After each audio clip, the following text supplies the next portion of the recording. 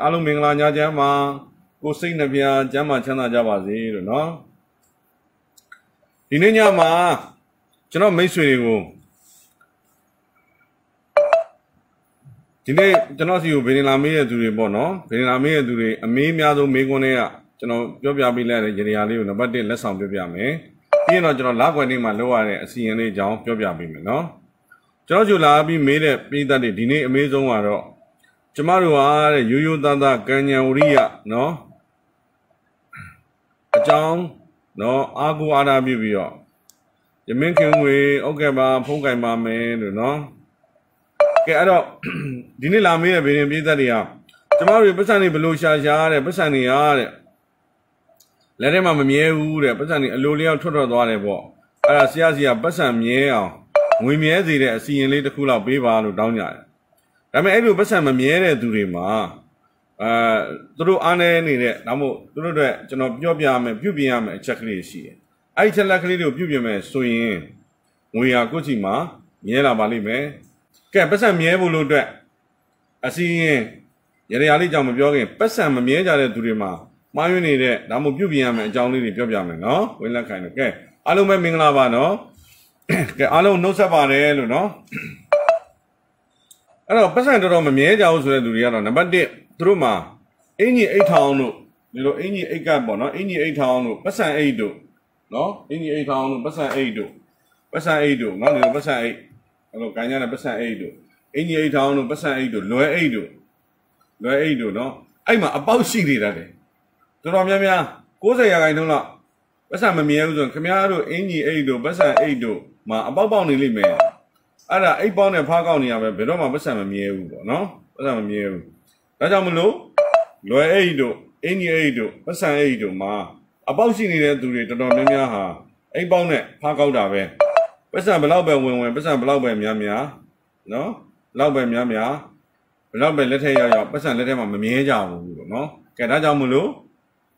ပတ်စံမြဲခြင်းတဲ့သူကနံပါတ်1အိတ်ပေါက်တွေ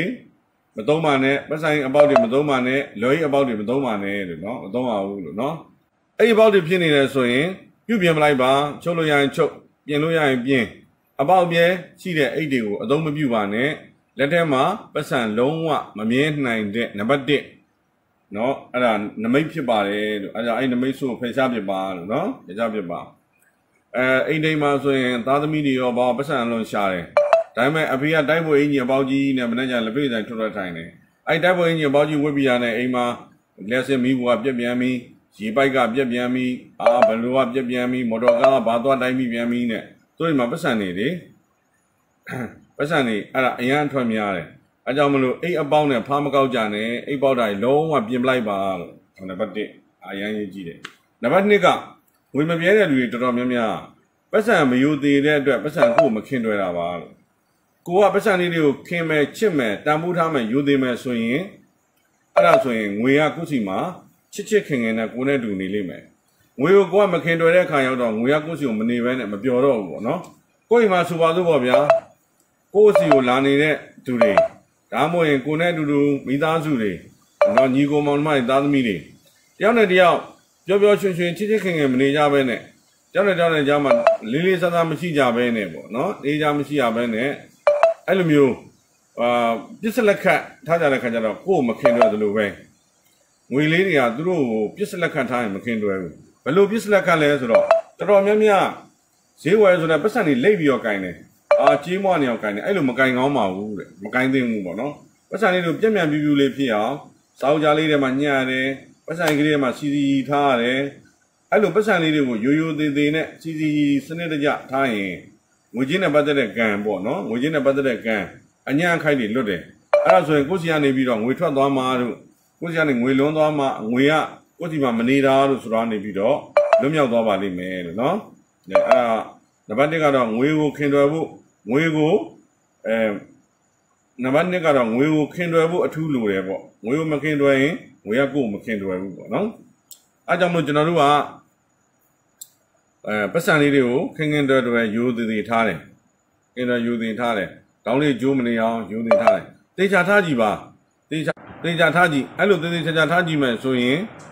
ငွေချင်းနဲ့ပတ်သက်တဲ့ကိစ္စတွေအတွက်စိတ်ချမ်းသာစရာတကယ်ကြုံလာပါလိမ့်မယ်လို့နော်စိတ်ချမ်းသာစရာတကယ်ကြုံရလိမ့်မယ်အဲကြောင့်ငွေလေးတွေကိုရိုးသေးသေး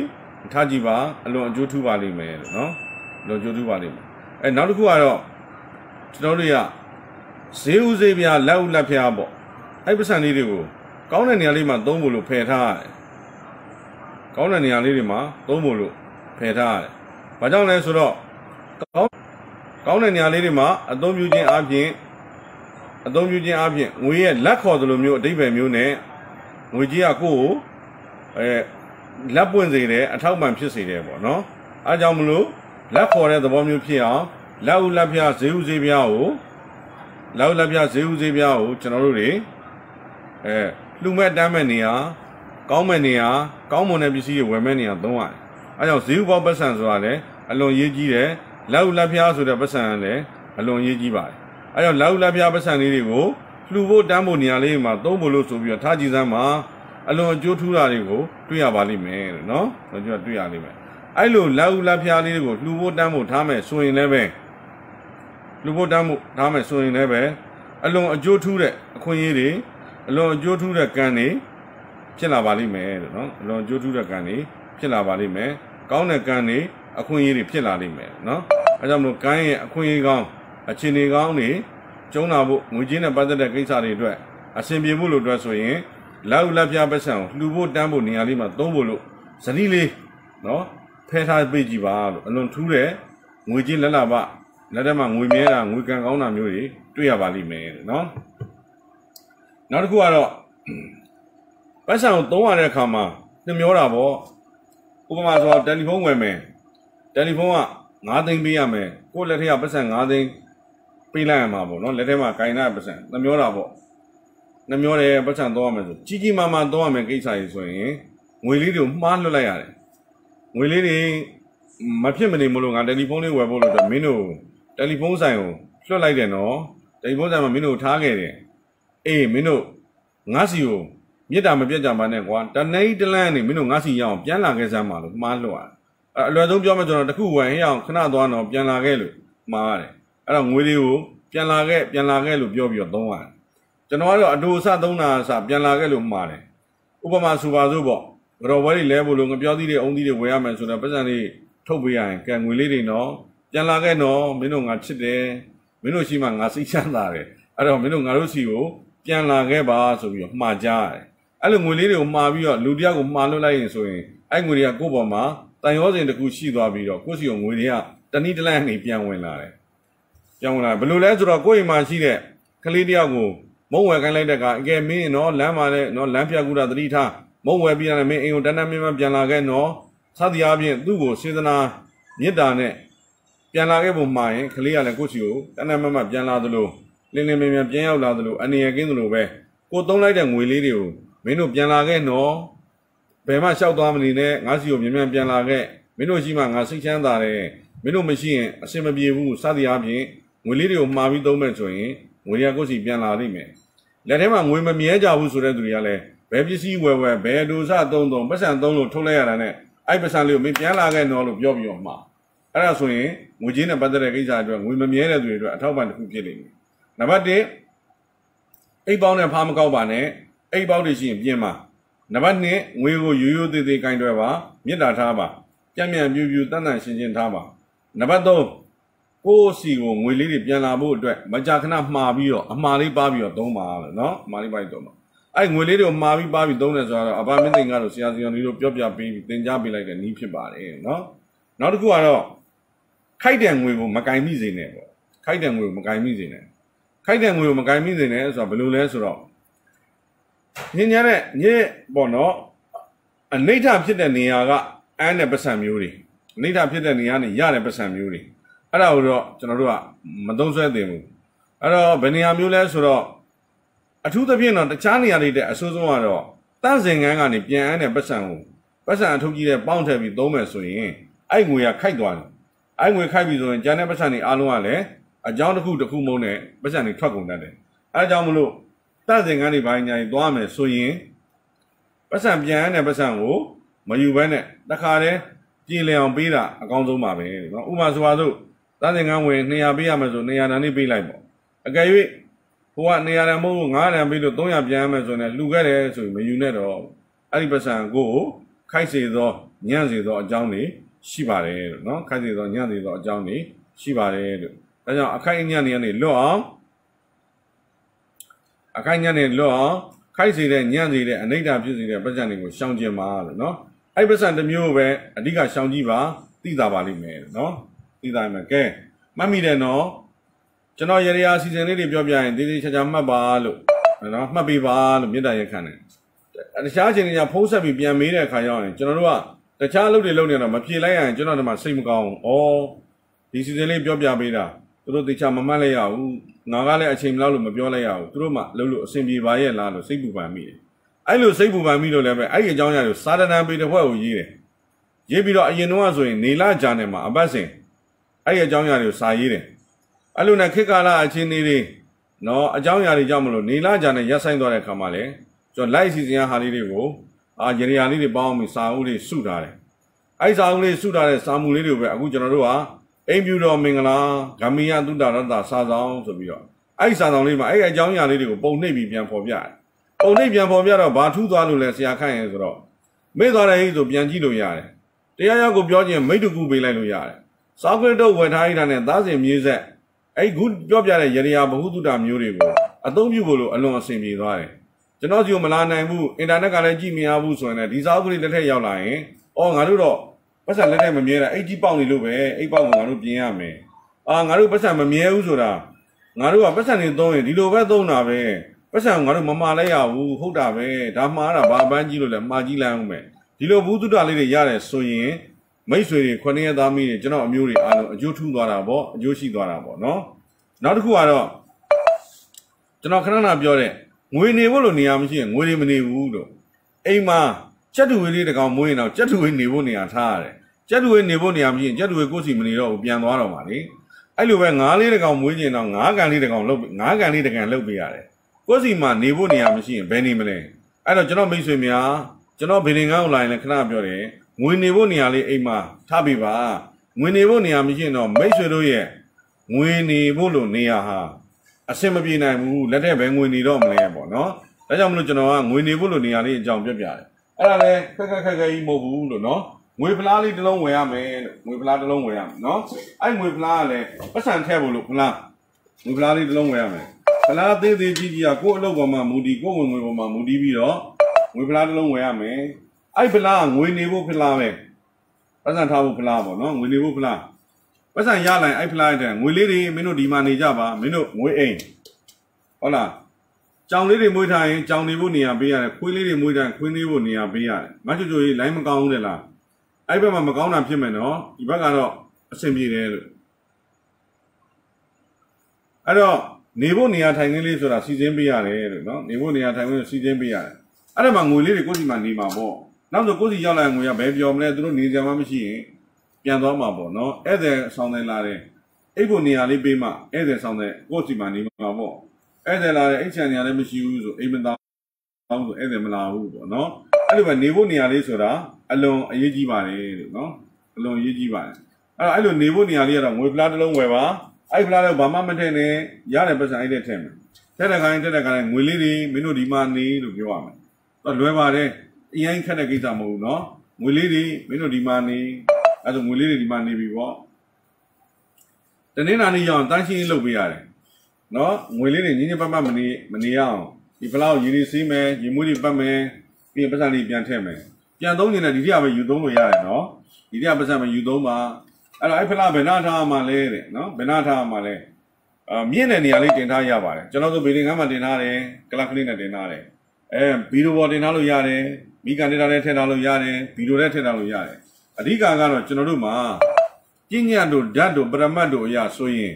ကို့မှာငွေနေဖို့နေရာရှိရင်တော့ငွေလေးတွေကိုစီနေလိမ့်မယ်ကို့မှာငွေနေဖို့နေရာမရှိဘူးဆိုရင်တော့မိတ်ဆွေ ငွေတွေကိုစီနေမှာမဟုတ်ဘူးအကြောင်းမျိုးစုံနဲ့ပြန်ထွက်သွားလိမ့်မယ်နော်အဲကြောင့်နံပါတ်1အိတ်ပေါင်းနဲ့ဖားမကောက်ပါနဲ့ကိုယ့်ဘက်ကပြင်ဆင်ပါအိတ်အပေါက်တွေနဲ့လုံးဝမသုံးပါနဲ့နံပါတ်2ငွေလေးတွေကိုယူသေးပါငွေလေးတွေကိုပြက်မြန်ပြူပြူတန်းတန်းရှင်းထားပါလိတ်ချေးမွတွန့်ပြီးတော့ပြစ်စလက်ခံမထားပါနဲ့ကိုယ့်စီမှာငွေတွေနေကြမှာမဟုတ်ဘူးနံပါတ်3တန့်စင်ကပြန်ရတဲ့ပတ်စံကိုပြန်မသုံးပါနဲ့အဲ့ဒါခိုက်တတ်တဲ့ပတ်စံဖြစ်ပါတယ်အနိဋ္ဌပတ်စံဖြစ်ပါတယ်အဲ့ဒါတခုရှောင်းပါနံပါတ်၄ အလွန်ရေးကြည့်ပါတယ်ငွေနေဖို့လို့နေရာလေးတစ်ခုထားပြပါငွေပလိုက်တစ်လုံးထားပြပါငွေနေဖို့နေရာဖြစ်မယ်နော်ငွေနေဖို့နေရာဖြစ်မယ်ဟာဂရင်ကောင်းမှာထားလိုက်ရတယ်မြင့်တဲ့နေရာမှာထားလိုက်ရတယ်ငွေနေဖို့နေရာလေးထားရမယ်နော်အဲ့ငွေနေဖို့နေရာလေးကပြည်မြို့မှာအလွန်အောင်မြင်တဲ့တန်ရလင်းရေခဲမုံဆိုတဲ့နော်ပိုင်ရှင်လေးတကယ်အဲ့လိုဖလားလေးနဲ့စီရင်မိထားပါတယ်ရေခဲမုံလုပ်ငန်းမှာဟိုးဟိုးကျော်ထုံးပေါအောင်မြင်သွားတဲ့သူတွေထဲမှာစီရင်ပါပါတယ်လို့နော် ကဲငွေနေဖို့နေရာကြီးလည်းရှိပြီကိုကငွေဝင်ဖို့လို့အတွက်အစီရင်လောက်ရတော့မယ်ငွေဝင်ဖို့လို့အတွက်အစီရင်လောက်ရတော့မယ်နော်ရေရိုင်လောက်တာရမ်းအဆင်ပြေတယ်တဲ့နော်တဲလူလူတာအဆင်ပြေဝမ်းသာပါတယ်လို့အဆင်ပြေစေခြင်းလို့ကိုဒီအချိန်မှာနော်ဒီဒီအကြောင်းအရာလေးတွေကိုတခန်းတနာပြောပြပေးနေတာဖြစ်ပါတယ်နော်ကဲဟုတ်ပြီအဲ့တော့ငွေဝင်အောင်တို့ဘာရရချင်မလဲပေါ့ငွေဝင်လာအောင်ပေါ့နော်ငွေဝင်လာအောင်ငွေဝင်လာအောင် ငွေဝင်လာအောင်ဘာရရချင်မလဲဆိုတော့အပမင်းသင်္ကကတော့အလွန်ဆန်းသောအစီရင်လေးတစ်ခုလုပ်သွားတယ်အဲ့ဒါဘာလဲဆိုတော့စီမီကွက်မန်းငွေလိုင်းတဲ့စီမီကွက်မန်းငွေလိုင်းဆိုတာစီမီကွက်ကလေးကလည်းမီးတောက်ပြီးမန်းငွေလိုင်းလည်းကပြီမန်းငွေလိုင်းကရင်လာကြည့်ပြီလာကြည့်ရင်ပွဲဖြစ်ပြီပွဲဖြစ်ရင်ငွေဝင်ပြီတဲ့နော်အဲ့လိုဆိုပြီးတော့စီမီကွက်မန်းငွေလိုင်းဆိုတဲ့အစီရင်လေးကျွန်တော်လာတဲ့လူတိုင်းလက်ဆောင်ပေးပါတယ် ငွေဖလားမဟုတ်ဘဲနဲ့တခြားဘူးတွေနဲ့လုပ်လို့မရပါဘူးငွေဖလားဆိုတာကြက်တည်မင်္ဂလာရှိသောငွေဓာတ်စင်ထားတဲ့ဖလားမို့လို့ငွေဖလားလေးတစ်လုံးဝယ်ပါအသေးလေးဆိုရတယ်အဲ့တော့ဒီဟာကအဘကစီမီကွက်မန်းငွေလိုင်းဆိုပြီးလောက်သွားတယ်ကျွန်တော်ဧည့်သည်တယောက်ကိုအစီရင်လေးတစ်ခုလုပ်ပေးဘူးတယ်အလွန်ထူးဆန်းပါတယ်အလွန်လဲအလွန်ထူးဆန်းတယ်အဲ့တော့ဘာလဲဆိုတော့ငွေတွေလာဖို့လို့တဲ့ကျမကိုငွေတွေလာပြီးလူတွေပတ်စံတွေလာလာပေးအောင် ဆရာရဲ့ကျမကိုတခုလေးလုပ်ပေးပါလားနော်တခုလေးလုပ်ပေးပါလားအဲ့ဒါအလွန်စွမ်းမဲ့နီးလေးပေါ့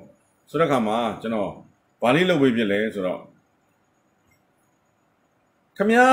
ကတဲ့မင်းသားတွေတဲကဘယ်မင်းသားကိုသဘောကျတယ်အာကျမဖိုးချစ်မှဖိုးချစ်တယ်ကောင်းပြီလို့ဖိုးချစ်ပုံလေးဖိုးချစ်ပုံလေးဓာတ်ပုံဒါမှမဟုတ်ပြက်ကလေးဒါမှမဟုတ်ဝေါ်ချီလေးတစ်ခုကိုကိုမြင်သာတဲ့ဧကန်းလိုနေရာမျိုးမှာဇမင်းသားပုံပေါ့ ဇမင်းသားပုံလေးချိန်တာပါလို့ဒါပေမဲ့အဲ့ဇမင်းသားဓာတ်ပုံကတခြားဓာတ်ပုံမျိုးနဲ့တော့မရဘူးဘလို့ဓာတ်ပုံလဲတဲ့မင်းသားရဲ့ကိုလုံးပေါ်မှာပတ်စံနေသီးပြီးတော့သီးနေတဲ့ပတ်စံနေအများကြီးသီးနေတဲ့ပုံအဲ့ပုံလေးချိန်ထားကြည့်လိုက်တယ်ဘာဖြစ်လို့လဲဆရာတဲ့အာမင်းသားပွဲကတယ်လေလို့ပွဲကတော့ပွဲကြည့်ပြီပေါ့ပွဲကြည့်ရင်ပွဲဖြစ်ပြီပွဲဖြစ်ရင်ခမားစီကိုပတ်စံနေလာယူပေါ့ဗျာဆိုတော့ね तू ကတကုတကံမဲအဲ့မင်းသားမှာပတ်စံနေချိန်ထားတဲ့ပုံကို အစီရင်လေးလုပ်ပြီးတော့အိမ်မှာချိတ်တယ်အဲ့လိုချိတ်လိုက်တဲ့အတွက်အဲ့နေရာစပြီးအဲ့ तू ကအလွန်ထူးထူးဆန်းဆန်းပဲပတ်စံနေဝင်နေတာပဲတဲ့အရင်တော့ကနော် तू ကငွေအတိုးပေးစားတာမျိုးလုပ်တော့အရင်တော့ကတော့ကိုကပတ်စံချီထားလိုက်ပြီးအဲ့အတိုးနေပေါင်းအရင်ပြန်ရအောင်ကိုမနေ့ကြိုးစားရတာဆရာခန့်ကြီးတဲ့အိမ်မှာ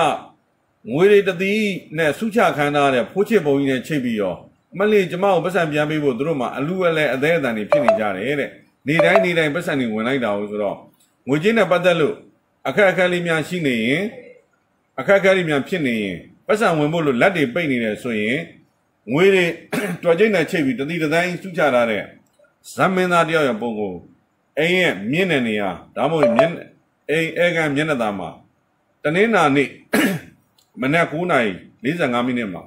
ချိတ်ကြည့်ပြီးတော့ရင်မွေးလေးတွေဖြန့်ကြည့်လိုက်စမ်းပါလို့အလွန်ထူးခြားသောအောင်မြင်မှု ငွေတွေဝင်လာတဲ့တက်ကိုရပါလိမ့်မယ်ကဲအဲ့တော့ငွေတွေမြဲဖို့လို့ငွေတွေနေဖို့လို့ငွေတွေဝင်လာဖို့လို့ဖြစ်ပြီးပြီဒါပေမဲ့ငွေကံကောင်းဖို့လို့ဆိုတာလေးတစ်ခုလိုတယ်ငွေကြီးကံကောင်းငွေလက်ထဲမှာကံထူးအောင်ငွေကံကိုယ့်အတွက်ကအမြဲတမ်းကံကောင်းနေအောင်ပေါ့နော်ကံကောင်းနေအောင်အဲ့တော့အလွန်လွယ်ကူပါတယ်အလွန်လဲစွမ်းပါတယ်အလွန်လဲစွမ်းပါတယ်အလွန်လဲအကျိုးထူးပါတယ်အဲ့တော့ဗာလဲဆိုတော့ငါပြောသည်မဲ့မှာ ငွေဆက်ကူတရွက်ကိုပတ်ပါပြီးရင်တရေခွင်းတို့အချီတို့ချီပါတနင်္လာနေ့ရောက်တိုင်းရောက်တိုင်းဆုံးခံကြတဲ့ကိုရင်ဦးစင်သီလရှင်စသည်အပြင်အလူကံပုဂ္ဂိုလ်တစ်ပါးပါးကိုလောင်းလှူပါငွေတွေပြောရဆိုရတာအဆင်ပြေပါစေ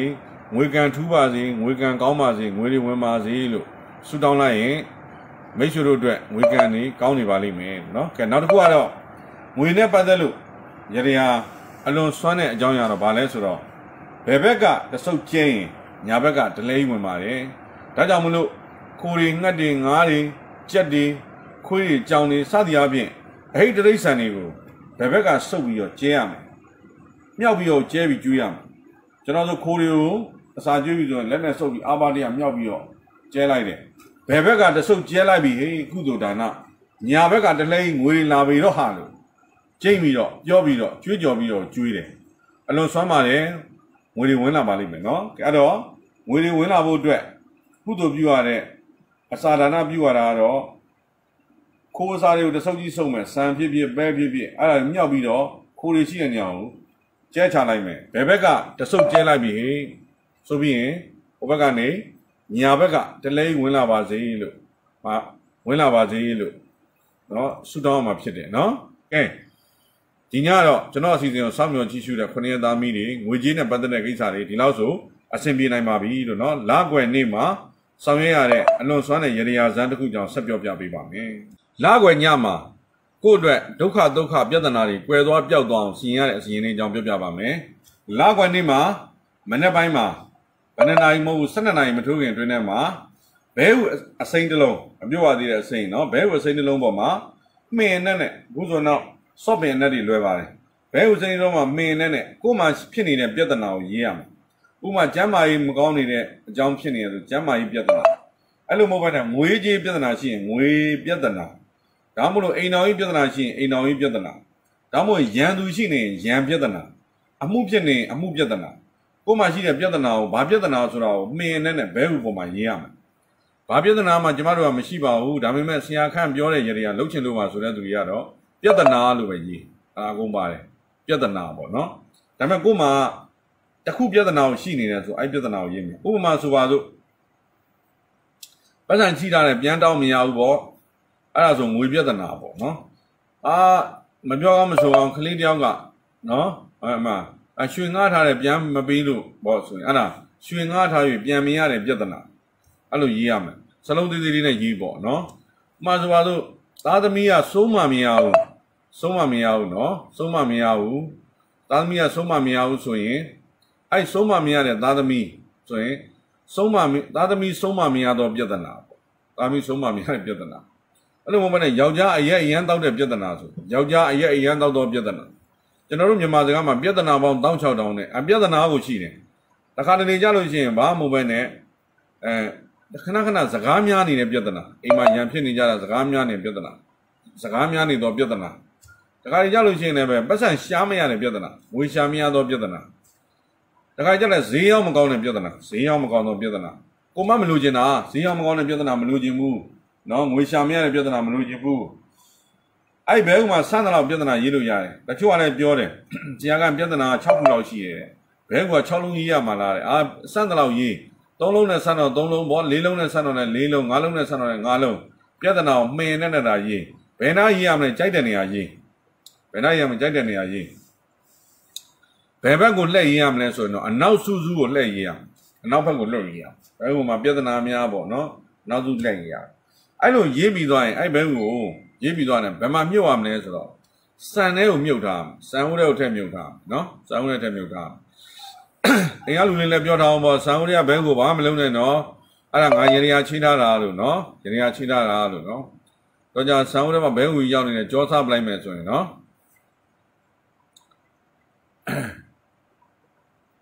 ဖြစ်နေမယ်အဲ့တော့ကိုရေးထားတဲ့ဘဲကိုစံဦးထဲမှာမြုပ်ထားလိုက်ပါလောက်ကွာနေ့မနေ့ပိုင်း12နာရီမတိုးခင်မှာရေးပြီးမြုပ်ထားရပါညနေနေဝင်ကြီးပြော4နာရီနောက်ပိုင်း5နာရီနောက်ပိုင်း6နာရီနောက်ပိုင်းမောင်ညီဖြိုးပြရှိပြီဆိုတဲ့အချိန်ရောက်ရင်မောင်ညီဖြိုးပြရှိပြီဆိုတဲ့အချိန်ရောက်ရင်အဲ့စံတဲ့ကဘဲကိုယူပြီးတော့အမိုက်ပုံရှိရင်အမိုက်ပုံပြစ်ပါရေစီးနေတဲ့မြောင်းတို့ချောင်းတို့မြစ်တို့ နီနီနာနာရှိရဆိုရင်တော့ရေစီးမှသွားမြော်မလိုက်ပါအမိုက်ပုံလည်းပြစ်ဖို့လည်းခက်တယ်ရေစည်းသွားမြောက်ဘွားခက်တယ်ဆိုတော့လမ်းစုံလမ်းကွာမှာကိုင်းပေါက်ပြီးခွဲပလိုက်ပါလို့ကိုင်းပေါက်ပြီးခွဲပလိုက်ပါအဲ့ဒါပြဿနာတွေကိုလကွယ်ညမှာကွယ်သွားပျောက်သွားစေဖို့လို့အတွက်အလွန်အစွမ်းထက်တဲ့ရေရပါပဲလို့နော်အစွမ်းစွမ်းထက်တဲ့ရေရပဲမိတ်ဆွေများလုပ်ကြည့်ပါမနေ့ပိုင်းကျရင်တော့လကွယ်နေညမှာလောက်ရတဲ့ကျွန်တော်တို့စီပြင်းထွန်းတဲ့ရေရလေးအကြောင်းပြောပြပေးမယ်နော် အဲဒီနေ့ညမှာတော့လကွယ်နေမှာကိုပြဿနာတွေကိုဖြေရှင်းပြလိုက်ရတဲ့နော်စွန့်ပစ်လိုက်ရတဲ့ရေရာလေးကိုမှတ်သားထားပြီးတော့ဆောင်ရွက်ပေးပါလို့နော်မှတ်သားရေးဆောင်ရွက်ပေးပါဒီနေ့လမ်းဝယ်နေ့ကတော့မေလ29ရက်တနင်္ဂနွေနေ့1384ခုကဆုံလကွယ်နေ့ဖြစ်ပါတယ်နော်ဒါကြောင့်အင်္ဂလိပ်လိုမေလအခုလ29ရက်နေ့မနေ့မှာဘဲဥပေါ်မှာပြဿနာစာရေးပါမေလ29ရက်နေ့ညနေနေဝင်ချိန်မှာတော့ အဲ့ဘဲကိုရေစည်းမှာမျောပလိုက်ပါအမိုက်ပုံမှာပြစ်ပလိုက်ပါလမ်းစုံလမ်းကွာမှာခွဲပလိုက်ပါနော်ဒါဆိုရင်ကောင်းကျိုးချမ်းသာတွေရပါလိမ့်မယ်နော်ခုနှစ်ရက်သားမီးအားလုံးငွေတွေအုံအောင်ထအောင်ဝင်ပြီးကြီးပွားချမ်းသာအောင်မြင်တိုးတက်ကြပါစေခင်ဗျာ